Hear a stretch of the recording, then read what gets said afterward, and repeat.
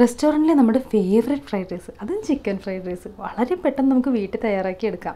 അതും ചോറ് ഒട്ടിപ്പിടിക്കാതെ ഉതിരുതിരായിട്ട് എങ്ങനെയാണ് തയ്യാറാക്കുന്നതെന്ന് നമുക്ക് നോക്കാം. അതുപോലെ നമ്മുടെ ഫ്രൈഡ് റൈസിന്റെ ബെസ്റ്റ് കോംബോ എന്ന് പറയുന്നത് ചില്ലി ചിക്കനാണ് ചില്ലി ചിക്കന്റെ കൂടെ അടിപൊളി ടേസ്റ്റാണിത് അപ്പോൾ നമുക്കിത് എങ്ങനെയാണ് നമ്മുടെ വീട്ടിലെ അടുക്കളയിൽ ഉണ്ടാക്കുന്നതെന്ന് നോക്കിയാലോ?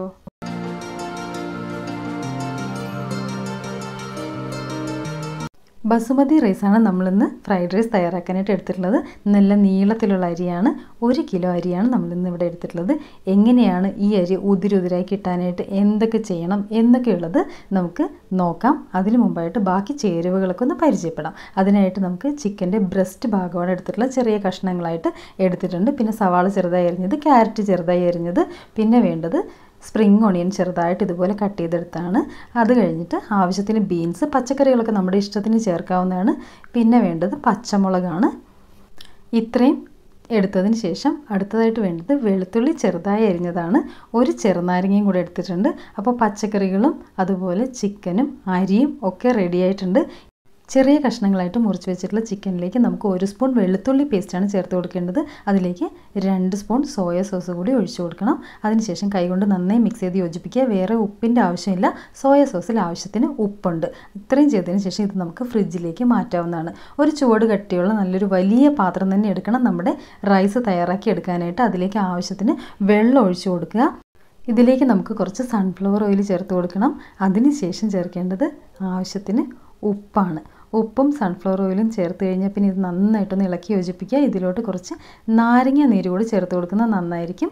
എന്നിട്ട് നമുക്ക് അതിലോട്ട് കുറച്ച് ക്യാരറ്റ് കൂടി ചേർത്ത് കൊടുക്കാം. ഈ റൈസിന് നല്ലൊരു ഫ്ലേവർ കിട്ടാനായിട്ട് ഈ ക്യാരറ്റ് സഹായിക്കും. ഇത്രയും ചേർത്ത് കൊടുത്ത് വെള്ളം നന്നായി തിളച്ച് തുടങ്ങുമ്പോൾ മാത്രം കഴുകി വെച്ചിട്ടുള്ള വെള്ളമൊക്കെ വാർന്നു പോയിട്ടുള്ള അരി ഇതിലോട്ട് ചേർത്ത് കൊടുക്കാം. എന്നിട്ട് ഇത് നന്നായിട്ട് വേവിച്ചെടുക്കണം. ഉപ്പും സൺഫ്ലവർ ഓയിലും നാരങ്ങ നീരൊക്കെ ചേർക്കുന്നതുകൊണ്ട് തന്നെ അരി ഒരിക്കലും കൊഴിഞ്ഞു പോവില്ല. നമുക്ക് കുറച്ച് സമയം ഇത് വേവിച്ചാൽ മതി. ഏഴ് മുതൽ എട്ട് മിനിറ്റ് വരെ ഇതൊന്ന് വേവിച്ചാൽ മതി. കാരണം ഫ്രൈഡ് റൈസിന്റെ റൈസ് ഒരിക്കലും വെന്ത് കുഴഞ്ഞു പോരുത്.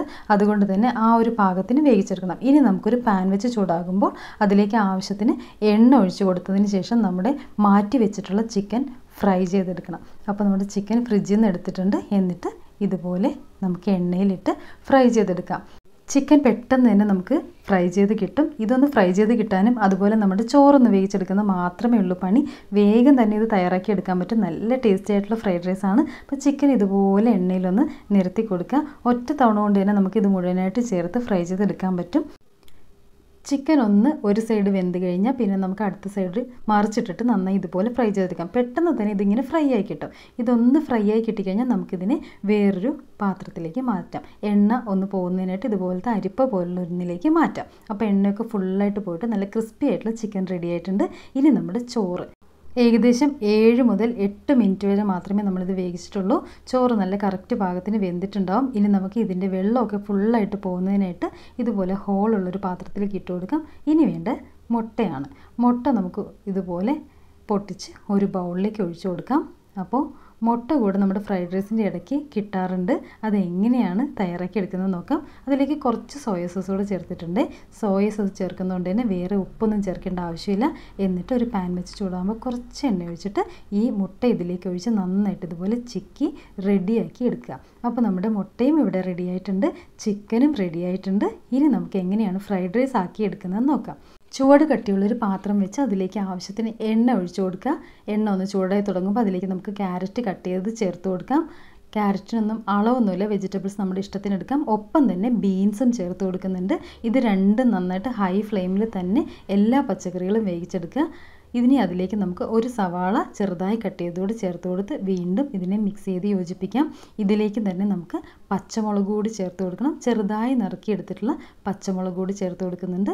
ഒപ്പം തന്നെ നമുക്ക് വെളുത്തുള്ളി ചെറുതായി അരിഞ്ഞ് ചേർത്ത് കൊടുക്കാം. ഇഞ്ചി ചേർക്കാറില്ല. വെളുത്തുള്ളിയാണ് നമ്മുടെ ഫ്രൈഡ് റൈസിൽ ചേർക്കുന്നത്. ഇത് ഹൈ ഫ്ലെയിമിൽ വെച്ചിട്ട് തന്നെ നമുക്കൊന്ന് ഫ്രൈ ചെയ്തെടുക്കണം. ഇതിലോട്ട് കുറച്ച് കുരുമുളക് പൊടി കൂടി ചേർത്ത് കൊടുക്കുന്നുണ്ട്. ഇത്രയും ചേർത്ത് നന്നായിട്ട് ഇതിനെ മിക്സ് ചെയ്ത് യോജിപ്പിക്കുക. ഹൈ ഫ്ലെയിമിൽ വെക്കാൻ കാരണം നമ്മുടെ വെജിറ്റബിൾസ് ഒക്കെ ഒക്കെ അതിന്റെ കളറ് പോവാതെ കിട്ടണം. ഇതിലേക്ക് നമുക്ക് അടുത്ത സോയാ സോസ് ചേർത്ത് കൊടുക്കാം. നമ്മുടെ തയ്യാറാക്കി വെച്ചിട്ടുള്ള മുട്ട കൂടി ഇതിലേക്ക് ചേർത്ത് കൊടുക്കുന്നുണ്ട്. ഹൈ ഫ്ലെയിമിൽ വെച്ച് പെട്ടെന്ന് ഇതിനെ ഒന്ന് വേവിച്ചെടുക്കണം. കാരണം ഇതിന്റെ സ്വാഭാവികമായിട്ടുള്ള കളർ അതിൽ തന്നെ ഉണ്ടാകണം. ഫ്രൈ ചെയ്ത് വെച്ചിട്ടുള്ള നമ്മുടെ ചിക്കനും കൂടെ ഇതിലേക്ക് ചേർത്ത് കൊടുക്കുന്നുണ്ട്. ഇപ്പോൾ തന്നെ നിങ്ങൾക്ക് മനസ്സിലാവും അത് വെന്തിട്ടും ഉണ്ടാവും. അതുപോലെ കളറൊന്നും പോയിട്ടില്ല. ഇനി നമുക്ക് നമ്മുടെ തയ്യാറാക്കി വെച്ചിട്ടുള്ള ചോറ് കൂടി ചേർത്ത് കൊടുക്കാം. ചോറും കൂടി ചേർത്തതിന് ശേഷം നന്നായിട്ട് ഇത് മിക്സ് ചെയ്ത് യോജിപ്പിക്കണം. എത്ര എളുപ്പത്തിലാണ് ഫ്രൈഡ് റൈസ് തയ്യാറാക്കുന്നത് നിങ്ങൾക്ക് മനസ്സിലായിട്ടുണ്ടാവും. നല്ല ടേസ്റ്റി ആയിട്ടുള്ള നല്ല ഉതിരുതിരായിട്ടുള്ള ചോറ് കിട്ടാനായിട്ട് ഇതുപോലെ തന്നെ തയ്യാറാക്കിയെടുക്കുക. ഏകദേശം ഏഴ് മുതൽ എട്ട് മിനിറ്റ് വരെ മാത്രം വേവിച്ചാൽ മതി. അതുപോലെ കുറച്ച് എണ്ണയും ഉപ്പും നാരങ്ങ നീരും ചേർത്തുകൊണ്ട് തന്നെ ചോറ് കൊഴിഞ്ഞു പോവില്ല. ഇതിലോട്ട് നമ്മൾ കുറച്ച് കുരുമുളക് പൊടി ചേർത്ത് കൊടുക്കുന്നുണ്ട്. കുരുമുളകിന്റെ ഫ്ലേവർ ഇഷ്ടമുള്ളവർ മാത്രം ചേർത്താൽ മതി. നമ്മുടെ റൈസിന് കുറച്ചൊരു സ്പൈസി ആയിട്ടുള്ളൊരു ഫ്ലേവറൊക്കെ കിട്ടുന്നതിന് വേണ്ടിയിട്ടാണ് കേട്ടോ ഈ റൈസ് നമ്മൾ നേരത്തെ തയ്യാറാക്കി ഫ്രിഡ്ജിൽ വെക്കുകയാണെങ്കിൽ ഏത് സമയത്തും നമുക്ക് ഫ്രൈഡ് റൈസ് തയ്യാറാക്കി എടുക്കാൻ പറ്റും. നല്ല ടേസ്റ്റി ആയിട്ടുള്ള നല്ലൊരു ഫ്രൈഡ് റൈസാണ് പെട്ടെന്ന് തയ്യാറാക്കി എടുക്കാൻ പറ്റും. റെസ്റ്റോറന്റിൽ അതേ ടേസ്റ്റും ഉണ്ടാവും. അപ്പോൾ നമ്മുടെ ഫ്രൈഡ് റൈസ് ഇവിടെ റെഡി ആയിട്ടുണ്ട്. നല്ല ബെസ്റ്റ് കോംബോ ഏതാണെന്ന് വെച്ച് കഴിഞ്ഞാൽ ചില്ലി ചിക്കൻ തന്നെയായിരിക്കും. എല്ലാവർക്കും ചില്ലി ചിക്കനും ഫ്രൈഡ് റൈസും എപ്പോഴും ഇഷ്ടമാണ് അപ്പോൾ ട്രൈ ചെയ്ത് നോക്കുക നമ്മുടെ വീട്ടിൽ തന്നെ പെട്ടെന്ന് പെട്ടെന്ന് തയ്യാറാക്കി എടുക്കാൻ പറ്റുന്ന നല്ലൊരു വിഭവമാണ് ഈ ഒരു ഫ്രൈഡ് റൈസും ചില്ലി ചിക്കനും ഫ്രൈഡ് റൈസ് ഇഷ്ടപ്പെട്ടെങ്കിൽ എല്ലാവരും ചാനൽ സബ്സ്ക്രൈബ് ചെയ്യാനും അതുപോലെ ലൈക്ക് ചെയ്യാനും എല്ലാവർക്കും ഷെയർ ചെയ്ത് കൊടുക്കാനൊന്നും മറക്കരുത് കേട്ടോ.